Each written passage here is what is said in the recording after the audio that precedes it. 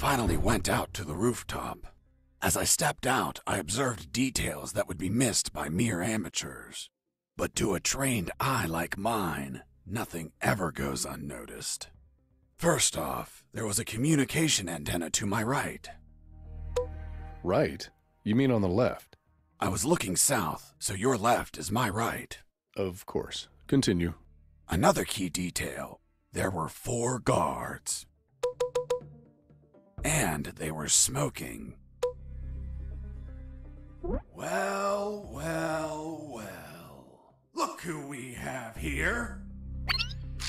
Hands up! You have no fucking idea who I am, do you? Who the hell are you, scumbag?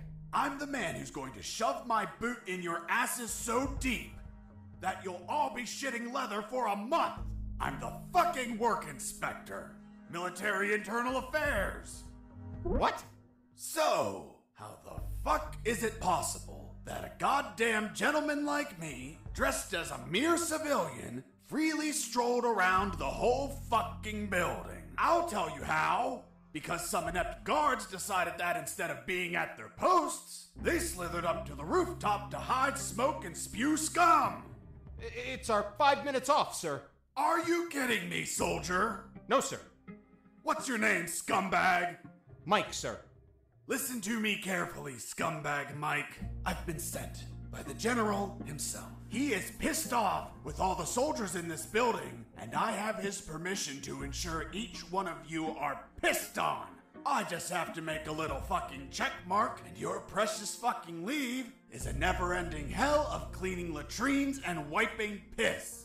So, don't piss me off. Do I make myself clear, scumbag Mike? Crystal clear, sir. Chatting here, blah, blah, blah, gossiping like schoolgirls. You disgust me. Fuck.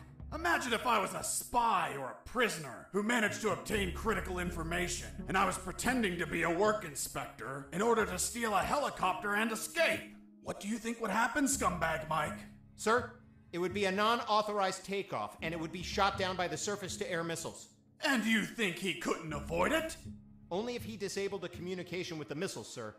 I see. And how would he do that? Sir, disabling the communication antenna that communicates with all surface to air missile batteries. And then he just gets away. What kind of shitty security is that? That's it? This is all going into my report. Heads are going to roll.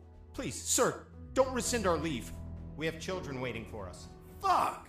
You have children, and you're smoking? You calling yourself a father, scumbag Mike? I have good reason to keep you from your kids.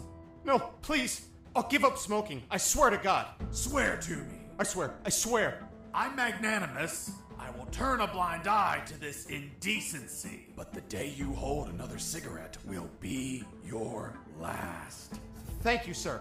Take a look at this floor. It's littered of cigarette butts, you pigs. Have you been tossing these without putting them out? You'll burn the building down. Not to mention the pollution.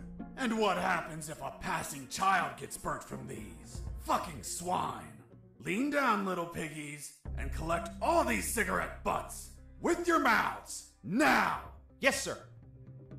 You too, asshole. Yes, sir.